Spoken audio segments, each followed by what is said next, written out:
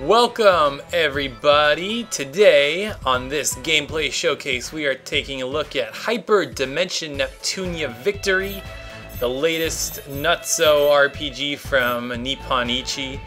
And uh, yeah, this was an interesting game. It, um, the battle system was cool, the gameplay was extremely repetitive, it didn't have a lot of depth, but the story was kind of funny I thought, and the art was cool and uh, I really like the voice actress who played Neptune, the lead character. So I'm just going to show you a little bit of how this game works.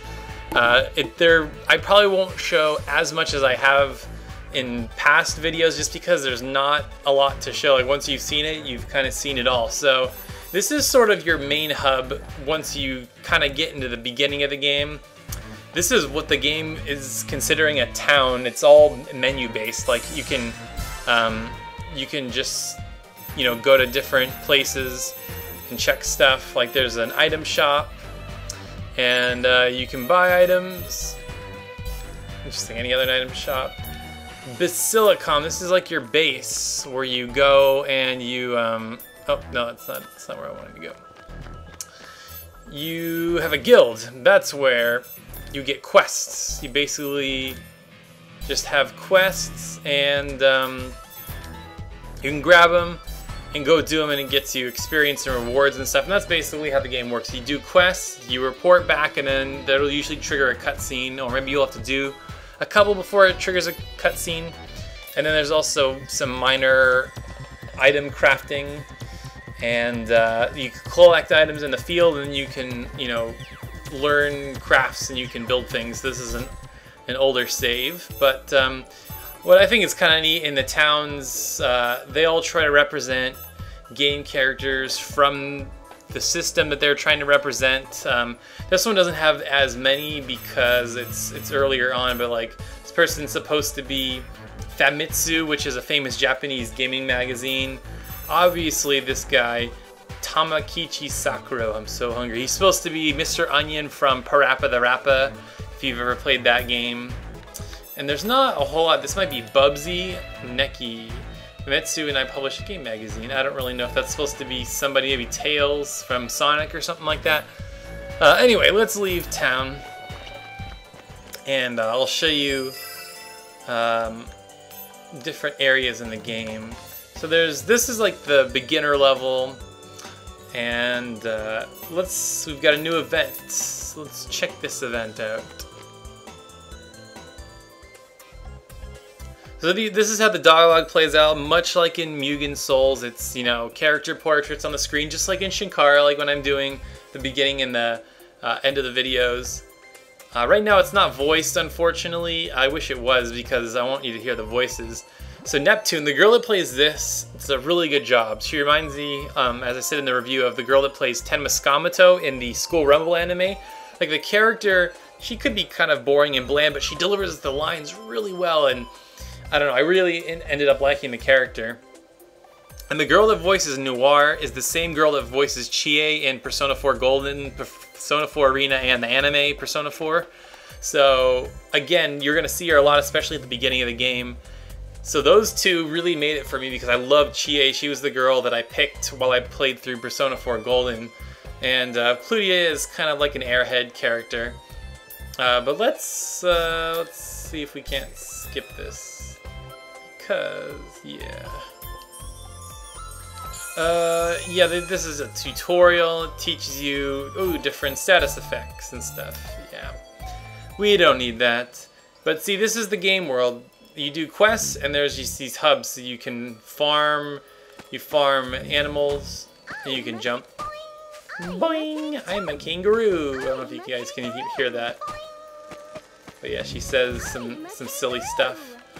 But here, everybody's like a old video game. Obviously, that guy's supposed to be a ghost from Pac-Man. So yeah, you just gathered some herbs. So let's fight. Get into a fight here. Uh, much like Persona 4, you attack them, you can get the upper hand.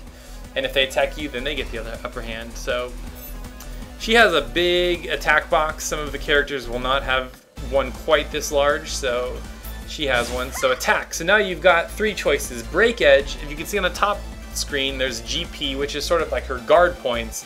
If you eliminate that, you'll do more damage. Um, Power Edge basically is just a strong attack, doesn't really do anything one way or another. I'll do a break edge. You can see it definitely took more of her uh, this ghost GP away. I'll just do it again. Uh, and so I'll do an attack. I'm probably gonna kill it. Okay, so rush. It doesn't do a lot of damage, but what it does is it's a very high percentage to hit. So if the person you're fighting tends to dodge a lot, or if you only have a little bit of damage you want to do to them at the very end, then make sure you do that so you can hit them. So I'm just gonna finish him off. And you can see her hitbox is a lot smaller, but her strength is uh, healing. So nobody needs to get healed, but you can see the big range that she has. Should you need to heal. Um, so I'm just gonna end up defending since I can't really do anything. Uh, and what's cool, again, you can see on the top right, it tells you the order that who's gonna fight in, so you can sort of plan ahead, which is nice. Uh, I'm gonna just do some breakers, and now that there's no guard, guard's broken, let's just do some power edge. And we did it! Victory! Alright, and then you have limited vul invulnerability, I believe, right after a battle. That's what that little green shield was. So let's take a walk around because there are definitely other areas you can explore. Ooh, a messy cloth. Probably for crafting items. So pretty much everything we just you saw, that's pretty much the whole area. Like that's you can see the map. Like that's it. They're very small areas. They're not too big. They're not. Um, they're kind of. I guess you could almost call this a dungeon crawler in a way, but the dungeons are so small that I don't know if that's even an appropriate term for it. But let's keep killing things. I'll show you one thing that I didn't like about this system. So do fight another battle. Why'd you get careless? Uh, break, break, power edge. Alright, broke her guard. This guy's gonna die. See you later. See you later.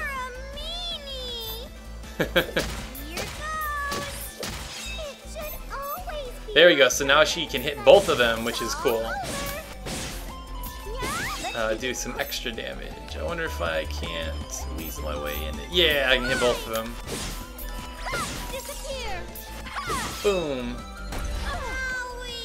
All right, let's uh, let's do some heals.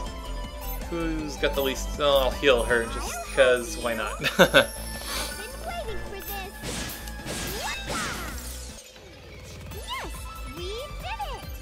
we did it. Yeah, and you can tell obviously the uh, character models are very cute, and you know the way they talk is very cute. But okay, so here here's the annoying thing. Maybe I um didn't find an ability for this yet or whatever. But see, if you complete your mission, there's no like quick escape. Like if I'm on the far end of the dungeon, I have to walk all the way back, which is really annoying. Like there's no quick exit or anything like that.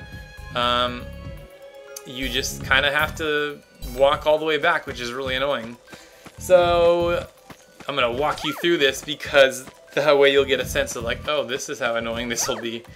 Um, but let's see, how far are we going the right way? Yep, going the right way. Um, but like literally what you're seeing right now, this is pretty much it. You get a quest, you go fight monsters, you get another quest, you go fight monsters. Uh, there'll be some different uh, enemy variety, there'll be some boss battles, you'll get different characters. But this is really all there is to it.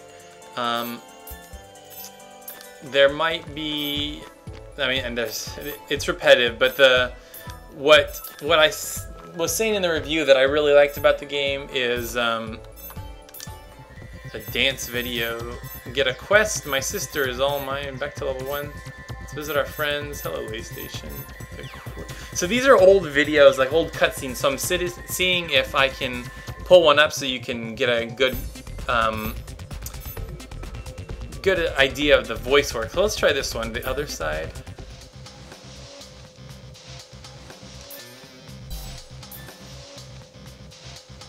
Okay, that's not it. Citizens Brigade. Um, if you please, would you? Yeah, okay.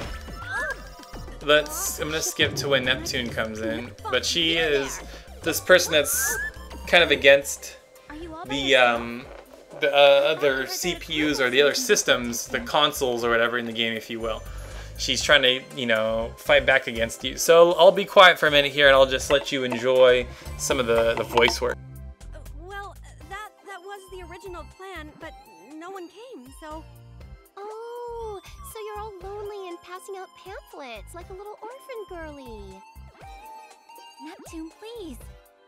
Um, in any event, we've received complaints, so we must ask you to stop. Miss. Oh, um, yes? Sorry. I'm the primary representative for the group you mentioned. Rei Ryghts. Um, uh, uh, forgive me for asking, but just who are. Huh? Uh, uh, you look familiar, actually. Wait! No, no, no way! You're the goddess Neptune and the goddess candidate Nepgear! Ah, go me! We're strangers, but you still recognize me, so I'm flattered and stuff. so I don't know how how good of a um, a feel you got from just that little bit, but I feel like the girl that plays Neptune delivers her lines really well, and just as you go through the game, you'll you'll be able to see that even more uh, through more cutscenes and just different things she can do. Um, like I said, there I would show you more, but that's really all there is to this game. You go to your guild, you get quests, you come back, you do a cutscene, you do it again, and that's pretty much it. So I guess if you don't like repetitive gameplay, don't get this game. But if you enjoy uh, funny anime stories and you know cool art, and you don't mind the repetitive gameplay, then it might be for you. Um, I feel like if you like Mugen Souls, you're probably gonna like this. It's very similar, except I like the battle system in this way more than Mugen Souls. Mugen Souls Moe thing was so confusing, I couldn't figure out for the life of me. Um, but yeah, that's pretty much it. Let me know what you think of this game, if you got it, or if it interests you at all, or whatnot. So anyway, guys, hope you check out the review, and um, coming up next is a very, very long requested review. Many, many, many people have asked for this one. So if you're thinking, oh, is it going to be that game? Yes, it's probably going to be that game. So no new games for a while. I'm going to go um, quote unquote older games or games that have come out not recently. So uh, stay tuned. I hope you enjoy. Thanks a lot for watching, guys.